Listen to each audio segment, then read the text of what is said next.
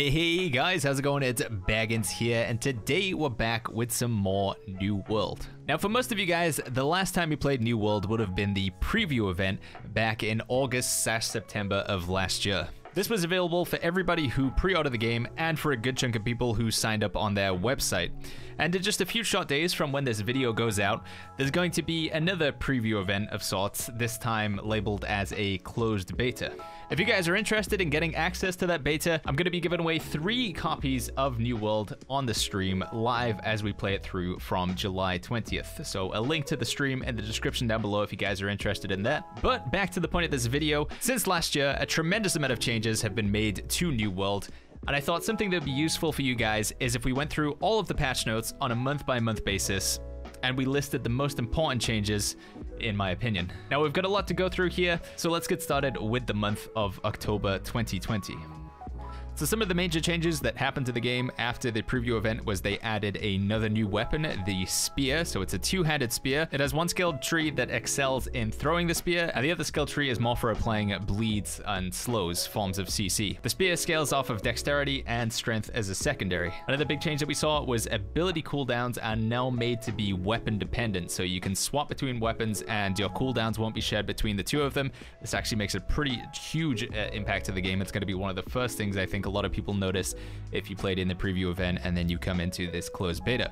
During this month, there was also a threat system added to the game. It's pretty basic at this form, but it gives us the idea that we're going to start to uh, see tanks appear in New World, with people now being able to generate threat against specific enemies. Some of the pretty big changes that we've seen uh, revolving around experience is changes to mob farming. So mob farming is now much less efficient in terms of getting experience. Armor, weapons, gear in general now require specific levels, so it might be like level 54 in order to use a particular earring rather than previously where it was like tiers, like tier 4 was unlocked at 40, tier 5 was unlocked at 50. Instead now tier 5 can scale anywhere from 50 all the way up to 60. There was also a big change to gems where they now convert damage types to different types so you can have arcane damage applied to your weapon or nature damage. Another interesting thing about the gems is they also scale off of a particular stat as well. So if you are heavily specced into intelligence, you could slot an intelligence gem into your sword. It would convert 50% of the damage of the sword into fire damage, but it scales based off of your intelligence. There's a bunch of different gems like this now in the game. Uh, if you guys want a bit more of an in-depth dive into this, I suggest you go watch Ser Medieval's video. I'll put a link to that in the description down below, timestamped where he talks about the gems. And finally, the focus stat now no longer provides cooldown reduction. Instead, it is specifically for the life staff and it's going to affect the amount of healing that your life staff does. In November of 2020, another region was added to the game. This is an end game region called Reekwater, so it's for level 58 plus. So maybe you could do your last few levels here in Reekwater. It's also going to be one of the best places for fishing, which is another thing that was added to the game. Fishing is going to be used for completing some quests, uh, some food recipes, you know, just the standard stuff that you would expect fishing to be used for. In this patch, healing and blocking were also made to generate threat. So uh, healers in the back are now going to be generating threat like you would expect in a lot of other MMOs. And we've also seen our first taunt added to the game in the form of Shield Bash. So, you know, as slowly over time, you can see from these patch notes, New World becoming more and more like your standard MMORPG. Elite enemies can also now be signed affixes, so you can kind of think of this a bit like Diablo, where if you get into later runs, they'll have uh, different affixes under their name, so there could be Exploding, or uh, Frost, which is like a slow aura, so everybody that comes around them uh, is slow. Uh, yeah, there's now up to three affixes on some particular elite enemies. Healing is also made easier in this patch with a new lock-on system, so you can now scroll wheel between your friendlies to decide who you want to apply the heal to. And finally, each weapon now has a base chance to crit from 3 to 5%. However, you can modify this through various traits and perks, buffs, etc. if you want to go into more of a crit build. In December of 2020, we saw another new weapon get added to the game, the Great Axe. So this is a two-handed axe. Uh, it has one skill tree for just doing a lot of damage. The other skill tree is more CC orientated, has a lot of uh, pulls to pull big groups in, and the Great Axe only scales off of strength. During December, we also saw duels added to the game, so you can now duel somebody. This is like a friendly PvP match, basically. You can initiate a duel by interacting with the other player. They have a chance to accept the duel or not. It can go from a 1v1 up to a 5v5, so groups can duel other groups. It's worth noting that if uh, outside interference happens in the group, like somebody pulls a mob, then uh, that will end the duel. Around this time, we also got the Tower Shield added to the game as well. This is a really big chonka of a shield. It provides the biggest block chance, but it also has the biggest weight and movement restrictions out of all the shields as well. And one of the biggest changes in the December patch notes was that Stagger has been removed from the game. Now, if you played in the preview event, uh, you will be familiar with the stagger system. A lot of people complained about it, basically allowing you to get stun locked. Now, Amazon did try a few different things to uh, sort of mitigate the stagger system, but in the end, it seems like they've ultimately gone with the decision to remove it. Uh, there is some fears that this will make the combat quite floaty, like in Elder Scrolls Online, but if you guys want a bit of a deeper dive into this, I'll put a link to a specific video about the stagger system and its removal in the description down below. Now, moving on to 2021, we do have the January patch. This was a pretty big patch, and we saw a major overhaul to the crafting system now. Uh, lots more items were added that you can craft, including a lot of endgame armor, weapons, jewelry, stuff like that. On top of this, the life skill is now capped at 200, so there is some ceiling to how far you can push your crafting and your gathering. During January, we also saw the rapier weapon added as well. This is a one-handed sword that has a skill tree that focuses on applying bleeds and then removing them for big chunks of damage. And the other side of the tree is like evasion, counter-attacking, and just, you know, being a bit fancy. The rapier scales off of dexterity as a primary, and its secondary is intelligence, so potentially a good pickup for some spellcasters out there. During this patch, food was also made into two separate categories, so you have buff food, uh, which applies buffs, and then you have recovery food, which is good for health and mana regeneration. Enemies that are also six or more levels above you from January onwards, it was also made that they would instantly kill you if your health hits zero rather than down you, so uh, trying to tag on to a high level group that's like clearing out portals or trying to do quests, it's a lot more dangerous for low level players to be in high level areas now.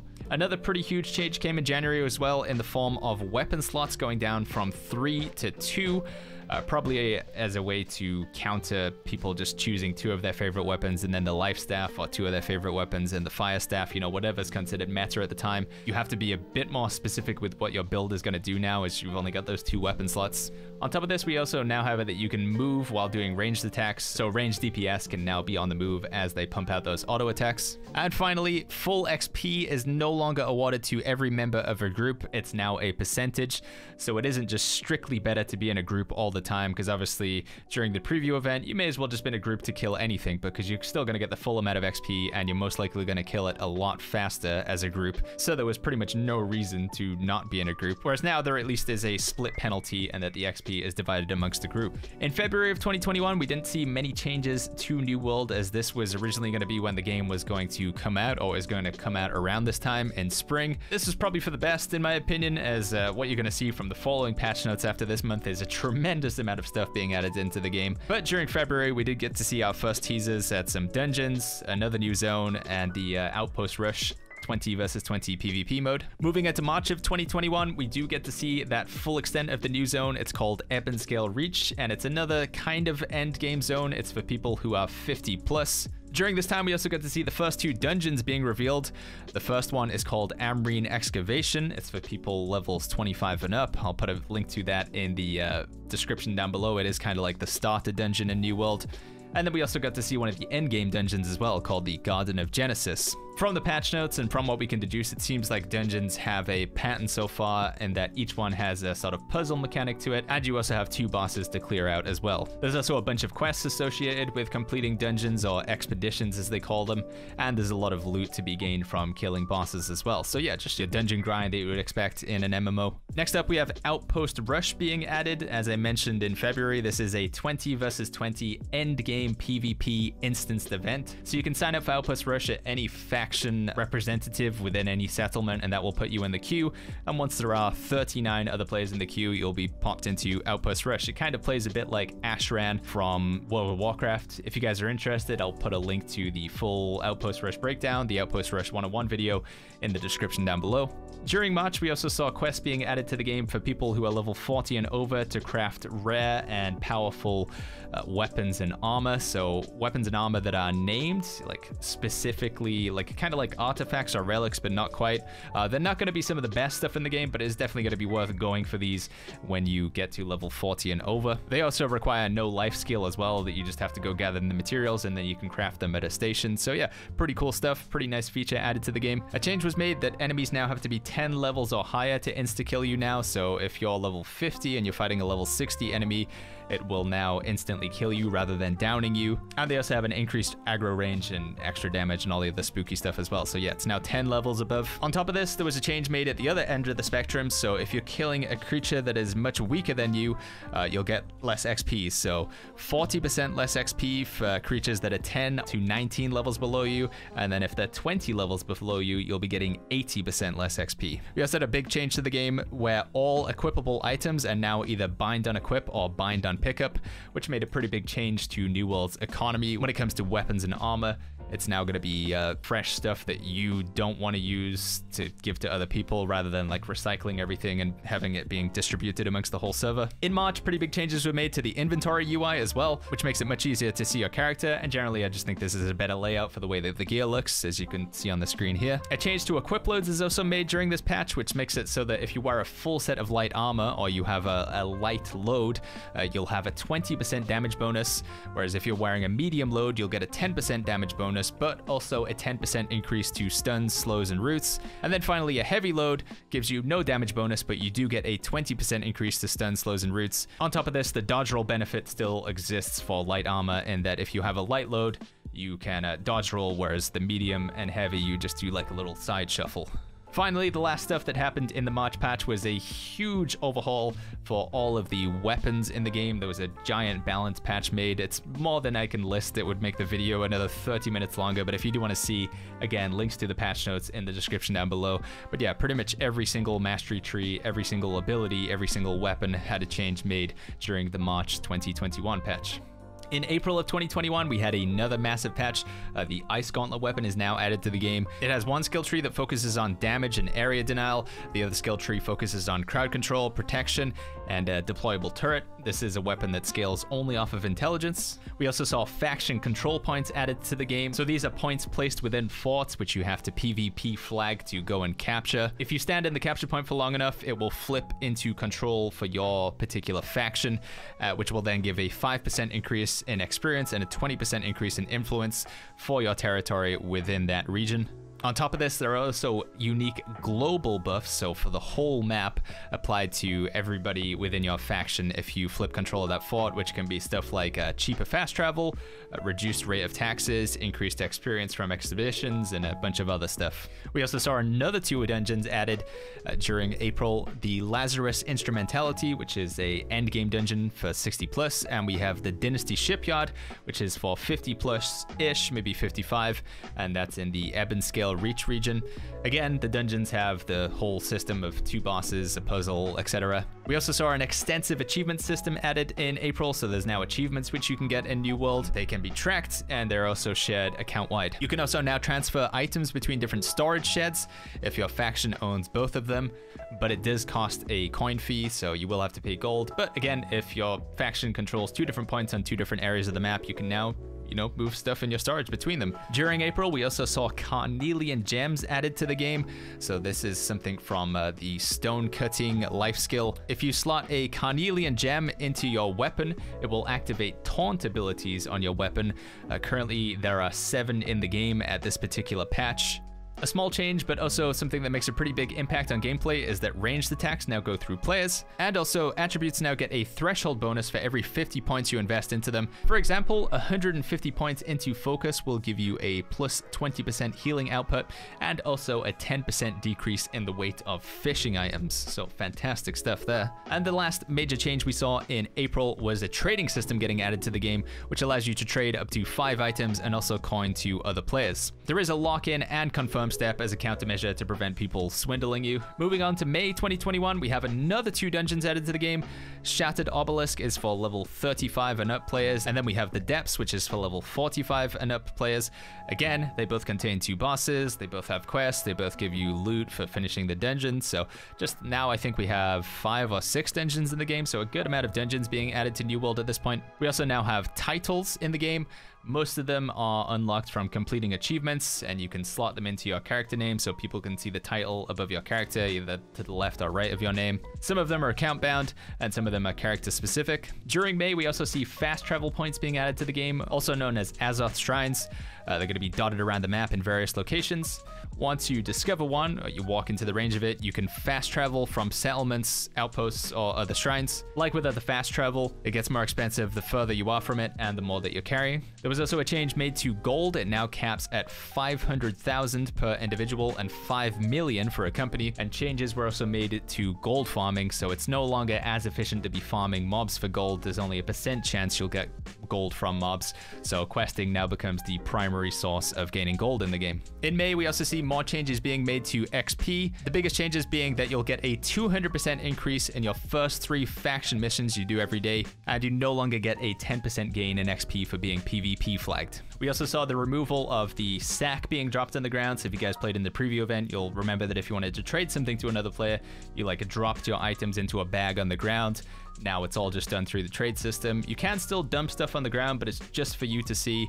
So I guess it's probably a way to like counter people leaving small bags around towns, you know, just dropping one arrow, moving, dropping one arrow, moving. Uh, yeah, the the gone are the days of seeing bags on the ground in New World. The last couple changes that happened during May, we saw tuning orbs added into the game. These are kind of like keys to get into dungeons. You can get those from quests and also from crafting via stone cutting. And finally, Another big change in May, and maybe one of the more controversial parts of New World's history so far, is we also saw the in-game store get announced. So the cash shop store, the premium store. Uh, Amazon stated that initially we'll only see cosmetic stuff for sale, like dyes and outfits.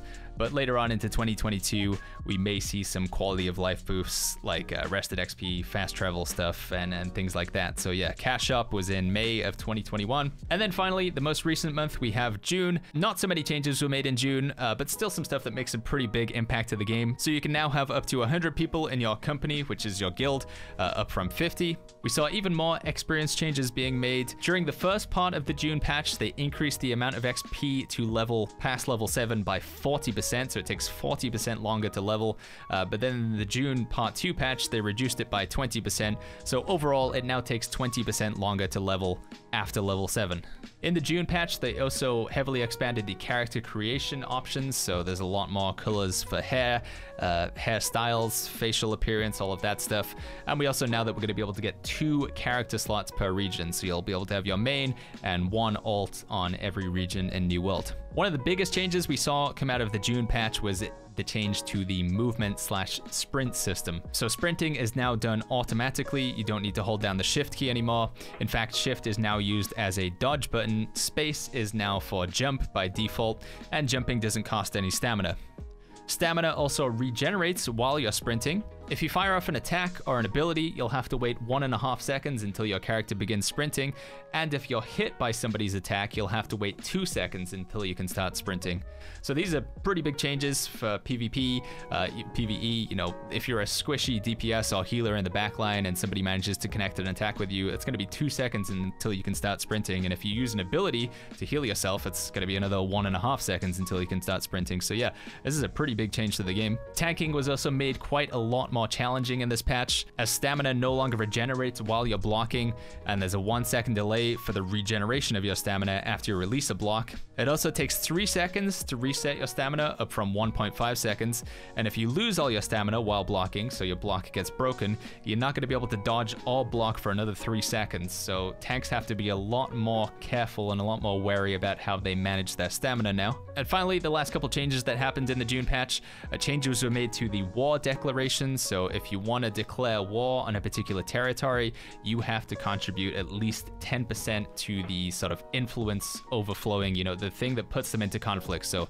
your company has to uh, complete a you know a fairly sizable amount of faction missions if they want to actually be the ones that declare war and take over the territory. So it's not as much random assignment anymore now. And then finally, the last change that was made in June, probably to a lot of people's relief, is that PvP was made a bit more impactful, as you'll get more experience when you get a PvP kill in the open world, you'll get more loot as well, and you'll lose less durability on your gear if you are the one that loses the fight in PvP. So that is all the changes that happened in New World from the preview event up until now. Again, there might be even more changes before the 20th of July beta happens. We'll have to keep our eyes peeled for those. If there is, you bet your biscuits we'll be making a video on it. And once again, guys, obviously I'm going to be streaming a lot of the New World beta. So if you want to come see what it looks like, you want to come ask some questions, maybe you want to clear some dungeons together, level up, I'll put a link to the stream in the description down below. But yeah, this has been a pretty long video, so we're going to wrap this one up here.